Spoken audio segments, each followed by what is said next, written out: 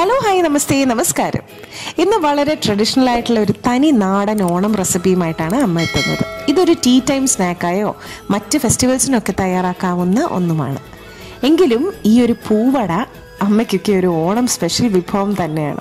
വാഴയിലയിൽ തയ്യാറാക്കുന്ന ഈ ഒരു ഇലയട അല്ലെങ്കിൽ വത്സൻ ഓണത്തിന് തയ്യാറാക്കുമ്പോൾ അത് പൂവട എന്ന് തന്നെ പറയപ്പെടും.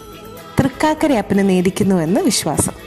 അതായത് തിരുവോണത്തിന്റെ തലേ ദിവസം രാത്രി അത്തപ്പൂക്കളത്തിൽ പൂക്കളുടെ ഇടയിൽ പൂവട ഉണ്ടാക്കി ഒളിപ്പിച്ചു വെക്കും.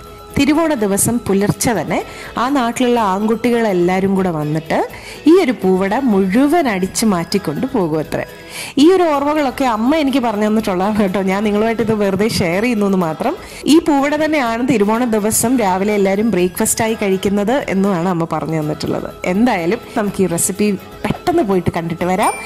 അതിനു മുമ്പ് ചാനൽ സബ്സ്ക്രൈബ് ചെയ്യാത്തവർ മറക്കരുത്. ചാനൽ സബ്സ്ക്രൈബ് ചെയ്യുക. നമ്മുടെ റെസിപ്പി ഇഷ്ടമായ ലൈക്ക് കമന്റ് ആൻഡ് ഷെയർ പച്ചവെള്ളത്തിൽ പൊടി കുഴച്ച് നമ്മൾ ഇടിയപ്പവും കൊഴുക്കട്ടയും ഇലയുടെയും പൂവടയും ഒക്കെ തയ്യാറാക്കുന്ന ഒരു ഡീറ്റെയിൽഡ് റെസിപ്പി ഞാൻ നേരത്തെ അപ്ലോഡ് ചെയ്തിട്ടുണ്ട്. അപ്പോൾ കാണാത്തവർ ആ ഒരു വീഡിയോ ഒന്ന് കണ്ടു നോക്കണം. ആ രീതിയിൽ പൊടി തയ്യാറാക്കി എടുത്തിരിക്കുന്നതാണിത്. ഇതിൽ നിന്നും നമ്മുടെ ഇലയുടെ അല്ലെങ്കിൽ പൂവട തയ്യാറാക്കാനായിട്ടുള്ള പൊടി നമുക്ക് മാറ്റിയെടുക്കാം. ഒരു രണ്ട് ഗ്ലാസ് പൊടി ഒരു ബൗളിലേക്ക് നമുക്ക് ചേർത്ത് കൊടുക്കാം. ആവശ്യത്തിനുള്ള ഉപ്പും കൂടി ചേർക്കാം. ഒരു ടീസ്പൂൺ നെയ്യും കൂടി ചേർക്കാം. ബട്ടറോ നല്ലെണ്ണ ഉണ്ടെങ്കിൽ അതായിരിക്കും കുറച്ചും കൂടി നല്ലത്. നന്നായി സ്പൂൺ കൊണ്ടങ്ങ് മിക്സ് ആക്കി എടുക്കാം. അതിലോട്ട് കുറച്ച് വെള്ളം ഒഴിച്ച് നമുക്ക് സ്പൂൺ കൊണ്ടൊന്ന് മിക്സ് ആക്കി എടുക്കാം. ഇനി കൈ കൊണ്ടൊന്ന് മിക്സ് ആക്കി നോക്കാം. കയ്യിൽ ഒട്ടി പിടിക്കാത്ത ഒരു പരുവത്തിൽ നമുക്ക് മാവ് കുഴച്ചെടുക്കണം. കുറേശ്ശെ കുറേശ്ശെ വെള്ളം ചേർത്ത് കുഴച്ചെടുക്കണം. ഏകദേശം ഒരു അളവാണ് ഞാൻ പറഞ്ഞത്. അതായത് രണ്ട് ഗ്ലാസ് അരിക്ക് ഒരു ഗ്ലാസ് വെള്ളം എന്ന കണക്ക്. ഇതിപ്പോൾ നല്ല സോഫ്റ്റ് ആയിട്ട് ഞാൻ കുഴച്ചെടുത്തിട്ടുണ്ട്. ഇതിന്റെ പുറത്തായിട്ട് കുറച്ച് ബട്ടറോ നെയ്യോ നല്ലെണ്ണയോ എന്തെങ്കിലും ഒന്ന് പുരട്ടിയിട്ട് നമുക്കിതൊന്ന് അടച്ച് മാറ്റി വെക്കാം. ഇനി പൂടയ്ക്കുള്ള ഫില്ലിങ് അല്ലെങ്കിൽ നമ്മുടെ പൂരണം റെഡിയാക്കി എടുക്കാം. ഒരു പാനിലേക്ക് ശർക്കര പാനി ചേർത്ത് കൊടുക്കാം. ഇതൊരു ഒന്നര ഉണ്ട ശർക്കരയാണ് കേട്ടോ. ഒരു ഗ്ലാസ് വെള്ളം ചേർത്ത് ഒന്ന് ഉരുക്കി അരിച്ചെടുത്തിട്ടുള്ളതാണ്. ഇനി ഈ പാനിയൊക്കെ ഒന്ന് കുറുകി ഒന്ന് കട്ടിയായി വരണം. ഏതാണ്ട് ഒന്ന് കട്ടിയായി വന്നിട്ടുണ്ട്. ഇനി അതിലോട്ട് ഒന്നര കപ്പ് തേങ്ങാ ചിരകിയത് ചേർക്കുകയാണ്. നന്നായി ഒന്ന് വരട്ടിയെടുക്കണം.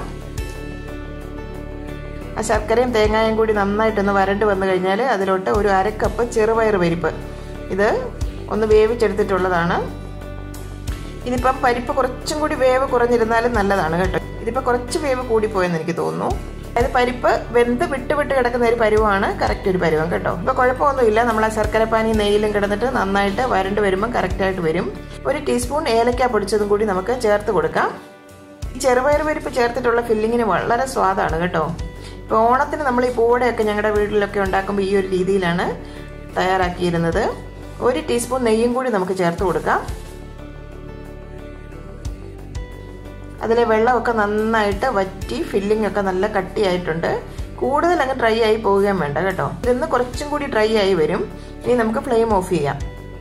ഇനി അട തയ്യാറാക്കാനായിട്ട് ഒരു പന്ത്രണ്ട് ഇല ഇതുപോലെ കീറി വൃത്തിയാക്കി റെഡിയാക്കി വെച്ചിട്ടുണ്ട്. ഇനി ഈ മാവ് ഓരോ ഉരുളയായിട്ടൊന്ന് ഉരുട്ടിയെടുക്കാം. ഇനി ഓരോ ഉരുളയും ഇതുപോലെ ഇലയുടെ നടുവിലായിട്ട് വെച്ച് കൊടുക്കാം. കൈ ഒന്ന് വെള്ളത്തിൽ നനച്ചതിന് ശേഷം കട്ടി കുറച്ച് വിരലുകൊണ്ടങ്ങ് പരത്തിയെടുക്കാം. ഈ സമയം കൊണ്ട് നമ്മുടെ അട വേവിച്ചെടുക്കാനായിട്ട് ഒരു സ്റ്റീമറിൽ വെള്ളം തിളയ്ക്കാൻ വെക്കണം. എത്രയും കട്ടി കുറച്ച് പരത്താമോ അത്രയും നല്ലത് കേട്ടോ. ഇടയ്ക്കിടയ്ക്ക് വെള്ളത്തിൽ ഒന്ന് കൈ മുക്കിയ ശേഷം പരത്തി കൊടുക്കുക ഇതിപ്പോൾ തന്നെ നന്നായിട്ട് പരത്തി എടുത്തിട്ടുണ്ട്. ഇല ഫുള്ളായിട്ട് പരത്തണ്ട. കുറച്ച് ഗ്യാപ്പ് വിട്ടിട്ട് ചെയ്യുക. ആ പൂരണം അല്ലെങ്കിൽ ആ ഫില്ലിങ് ഒരു രണ്ടോ മൂന്നോ ടീസ്പൂണ് ആ പകുതി ഭാഗത്തേക്ക് ഒന്ന് സ്പ്രെഡാക്കി കൊടുക്കാം. ഇതുപോലെ അങ്ങ് സ്പ്രെഡാക്കണം നമുക്ക് ഇല ഒന്ന് മടക്കിയെടുക്കാം സൈഡ്സ് ഒക്കെ ഒന്ന് പ്രസ് ചെയ്ത് കൊടുക്കാം. രണ്ട് സൈഡും ഒന്ന് മടക്കിയ ശേഷം ഈ വശവും ഒന്ന് മടക്കി അങ്ങ് സെക്യൂർ ചെയ്തെടുക്കണം. ഇതിനി ഒന്ന് കമത്തി ഒരു പ്ലേറ്റിലേക്ക് നമുക്ക് വെച്ച് കൊടുക്കാം. അടുത്ത ഉരുള ഇതുപോലെ ഇലയിൽ വെച്ച് വിരലൊന്ന് നനച്ച ശേഷം ഇതുപോലെ തിന്നായി പരത്തി കൊടുക്കാം. ഇനി ഫില്ലിങ് വെച്ച് കൊടുക്കാം.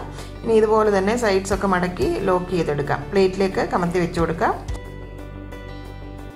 ഇതുപോലെ എല്ലാ ഇലയുടെയും നമുക്ക് റെഡിയാക്കി എടുക്കാം ഒരു ബാച്ച് ഞാൻ സ്റ്റീമറിലേക്ക് വെച്ചിട്ടുണ്ട്. ഇതിനെ ഒരു പതിനഞ്ച് തൊട്ട് ഇരുപത് മിനിറ്റ് വരെ എടുക്കും. നന്നായിട്ട് സ്റ്റീം ചെയ്തെടുക്കാം. പതിനഞ്ച് മിനിറ്റ് കഴിഞ്ഞിട്ടുണ്ട്. നമുക്കൊന്ന് തുറന്ന് നോക്കാം. കണ്ടില്ലേ ഇലയൊക്കെ വാടി അടയൊക്കെ നന്നായിട്ട് വെന്ത് വന്നിട്ടുണ്ട്. ഇനി ഫ്ലെയിം ഓഫ് ചെയ്യാം. ഇനി ആവി ഒന്ന് മാറിയതിന് ശേഷം ഇതൊരു പ്ലേറ്റിലേക്ക് നമുക്ക് മാറ്റാം. ഇതുപോലെ എല്ലാ ബാച്ചസും നമുക്ക് സ്റ്റീം ചെയ്തെടുക്കാം. അപ്പോൾ രണ്ടാമത്തെ ബാച്ചും റെഡി ആയിട്ടുണ്ട്. ഇത് നമുക്ക് ഒരു പ്ലേറ്റിലേക്ക് മാറ്റിയെടുക്കാം.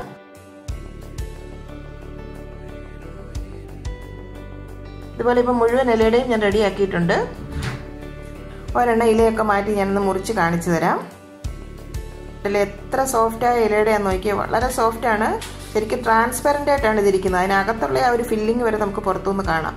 അതിന്റെ ഫില്ലിങ്ങും വളരെ ടേസ്റ്റിയാണ് അപ്പോൾ ഇതിന്റെ ഈ ഒരു മേൽമാവ് ഉണ്ടാക്കുന്ന രീതി ഞാൻ ഡീറ്റെയിൽഡ് ആയിട്ട് വീഡിയോയിൽ കാണിച്ചിട്ടുണ്ട്. ഒന്ന് ഉണ്ടാക്കി നോക്കണം. ലിങ്ക് ഡിസ്ക്രിപ്ഷൻ ബോക്സിലുണ്ട്. എന്ന് പറയുമ്പോൾ തന്നെ അത്തപ്പൂവിടിയിലും ഈ ഒരു പൂവടയും തൃക്കാക്കരയപ്പനെ ഒരിക്കലും ഇതൊക്കെ ശരിക്കും ഒത്തിരി ഓർമ്മകളുണ്ട് എനിക്ക് കേട്ടോ. എന്തായാലും അത്തപ്പൂ ഒന്നും അധികം വീടുകളിലൊന്നും ഇപ്പോൾ ഇടാറില്ലെങ്കിലും ഈ ഒരു പൂവട നിങ്ങളൊന്ന് തയ്യാറാക്കി നോക്കണം. എപ്പോഴും പറയുന്നത് പോലെ കമന്റ് ബോക്സിൽ അഭിപ്രായം നിങ്ങളൊന്ന് അറിയിക്കാനും മറക്കല്ലേ.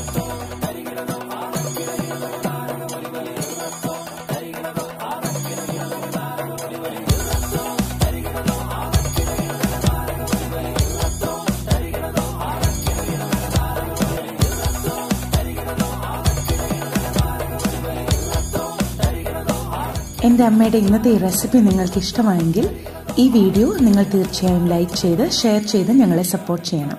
ഒപ്പം തന്നെ കറിവ് തമ്മ സബ്സ്ക്രൈബ് ചെയ്യാനും ബെൽ ഐക്കൺ ക്ലിക്ക് ചെയ്യാനും മറക്കരുത്. പെട്ടെന്ന് തന്നെ ഞാനും അമ്മയും മറ്റൊരു റെസിപ്പിയുമായി എത്തും. അതുവരേക്കും നന്ദി ഗുഡ് ബൈ